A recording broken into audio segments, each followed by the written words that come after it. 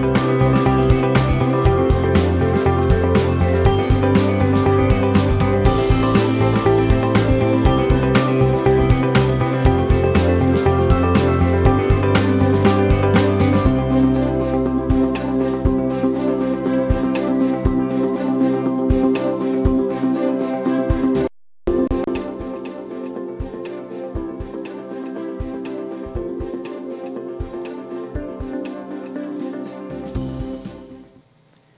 Hello, I'm Laura Cassidy from the American Chemical Society. Welcome to this news briefing from the ACS Fall 2019 National Meeting in San Diego. We're joined today by Dr. Delaram Ahmadi from King's College London. She's studying how skin creams aren't what we thought they were. Dr. Ahmadi? Thank you. I'm actually a PhD student. Um, that's okay. The research that I'm presenting here at the ACS conference concerns work we've carried out at King's College London and Rutherford Appleton Labs on the structure of aqueous creams, so creams like the one shown on the slide. Our work has revealed that the textbook view of cream structure is in some, resp some respects rather naive and in other respects totally incorrect. Aqueous creams are emulsions of oil and water, just like mayonnaise and salad cream. They're widely used in cosmetics and pharmaceuticals, and they typically contain about 15 to 20 different ingredients. Uh, and about four or five of those are key ingredients which contribute to the formation and stability of the cream, whilst other ingredients are added to enhance the look and feel of the cream. At the moment, the recipes of creams are based largely on trial and error. And the consequences of additives like uh, preservatives, sunscreens, or antioxidants are hard for manufacturers to predict. The stability and properties of creams are governed by their internal molecular structure, or in other words, how these key ingredients arrange themselves within the cream. The structure of creams has been presented to us in textbooks, but the truth is that our knowledge is actually rather poor and incomplete because details about the structure have been inferred and determined through indirect experimental methods. In my research, we have secured an unprecedented level of detail on the structure of creams, exploiting the unique capabilities of neutron scattering experiments. So, using neutrons, we've been able to determine the um, probe the location of each ingredient one by one by swapping the ingredient of choice with a different form containing deuterium instead of hydrogen, as shown in red on the image on the um, slide in the previous slide. And we've made all the other ingredients invisible to the neutrons, um, as shown in green. And therefore, the scattering profile that arises is as a result of the deuterium ingredient only, and it tells us exactly where that ingredient is located and how it is arranged. Uh, on the next slide, we see that um, the in the textbook structure of creams, um, the oil droplets are covered with a mixed layer of ingredient, which help keep the droplets dispersed, whilst the excess forms stacks of membranes or bilayers in the bulk with regions of water in between, which give the cream its viscosity or thickness. And we also see how an added antimicrobial preservative that's water soluble supposedly sits in the water phase where contaminating bacteria might thrive. As a result of my research, we now have a more detailed and complete picture of cream structure. And for the first time, we revealed direct evidence not only of these membrane like structures and their chemical composition, but also of these new small disc shaped structures known as bicelles, which have never been seen before. And we also see how the added antimicrobial preservative against all of our expectations actually associates with the bilayers and causes changes in the oil droplets and the layer that surrounds the oil droplets, which appears to be significantly roughened. And we also see how there's actually some oil, a small amount of oil being incorporated within the bilayers. In short, therefore, what we find is that a perfectly simple cream with just about six different ingredients can give rise to a much more complex picture than was previously thought. Thank you. Thank you. Are there any questions? Please state your name and affiliation before asking your question. Katie Cottingham, American Chemical Society.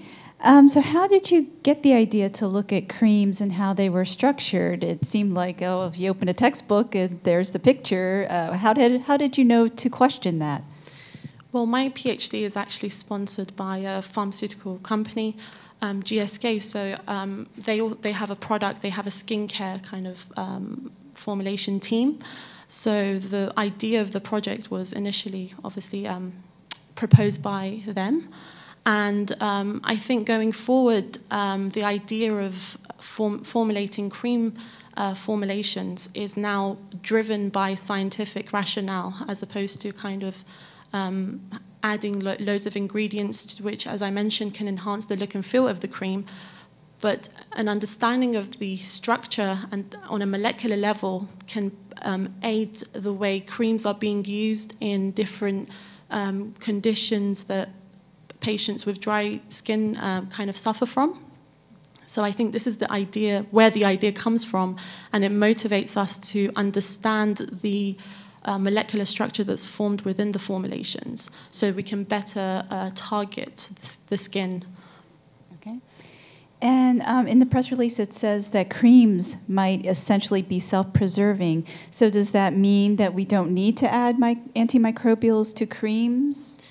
Potentially, I mean, based on our research and um, such a deep molecular understanding and kind of um, identifying where this particular preservative is located within this sort of structure, what we found is that um, we would expect the, the preservative to locate in the aqueous phase because uh, bacteria like to thrive in the aqueous phase, and the nature of our particular preservative is water water soluble. So it was much to our surprise to find this particular ingredient being associated with the bilayers, which can be very um, kind of lipid loving or lipophilic.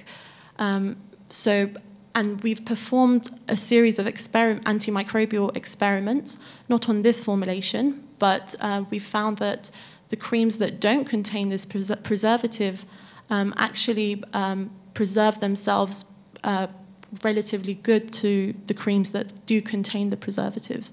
So going forward, yeah, potentially it could mean that we can remove these preservatives that are being added for a particular um, consequence that is not particularly there. Other questions?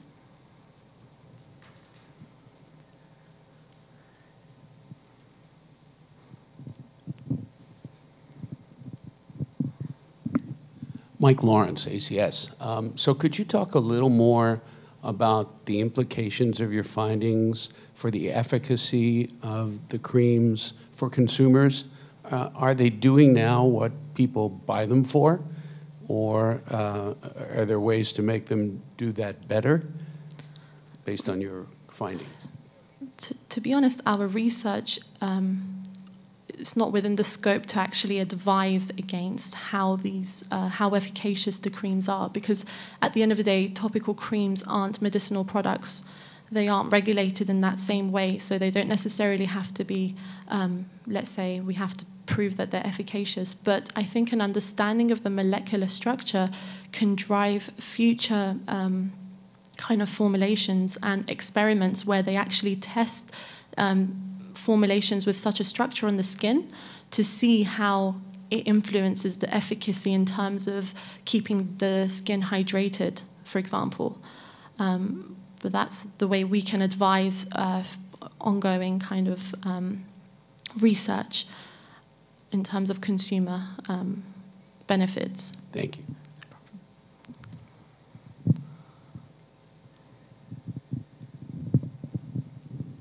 Buslig, ACS.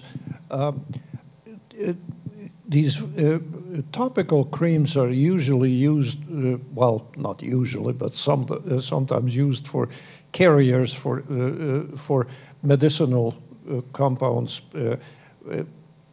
anything to, to relieve arthritis and so, so forth. Is there some indication that the, the structure that, that's very due to the uh, uh, uh, comp components, whether, whether they're, they're carrier or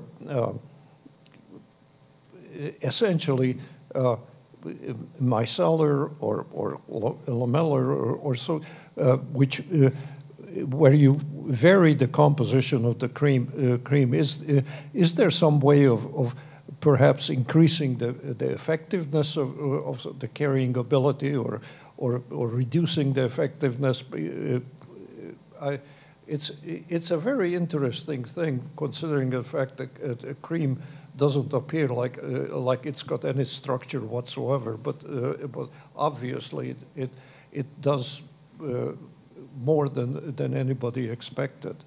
Certainly. I think the lamellar structure has been known for maybe 20 to 30 years, and that's what we are presented in textbooks.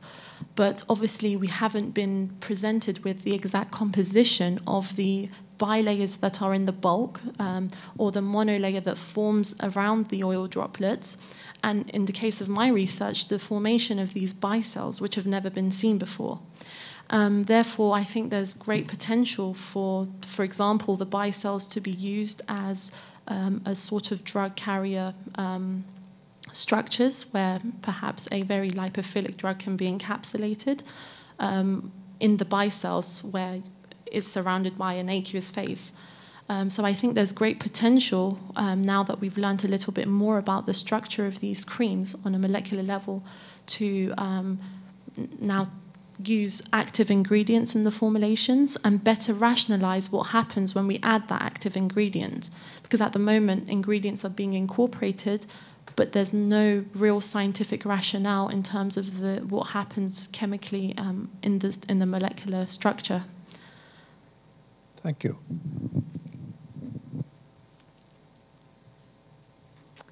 So, what are your next steps for this research? Um, so we hope, we, well, at the moment we are um, going to forward by working on a more, um, let's say, uh, complex structure, uh, a formulation where we have a physiologically relevant uh, surfactant because these formulations contain SDS and they can be irritant to the skin. So we are going forward by using a um, kind of natural phospholipid and then assessing how um, there are changes within the molecular, internal molecular structure, which can lead to um, potential changes in the properties of the cream, like the long term stability and the in use barrier repair properties. Because um, the idea is that these sort of creams mimic the structure of the skin and therefore, if we incorporate a physiologically relevant lipid, we can better repair the um, barrier function of the skin that can become compromised in different dry skin conditions. Okay. All right, thank you. The archive version of this session will soon be posted at bit.ly slash ACS 2019 San Diego. Please join us for our next press conference at 11 a.m. on how chocolate muddles cannabis potency testing. Thank you.